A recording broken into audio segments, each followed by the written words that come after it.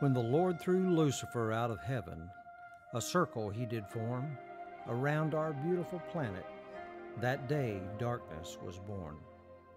Now that old devil thought he'd be smart. He planted the seed of evil and deception in the mind of a serpent to speak into mankind's heart. He then devised a plan to finance his future gains.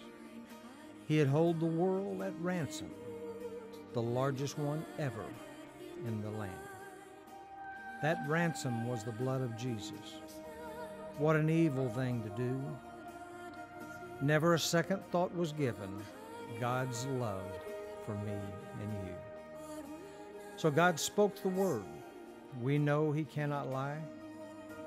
He had sent his only son to an old rugged cross to die.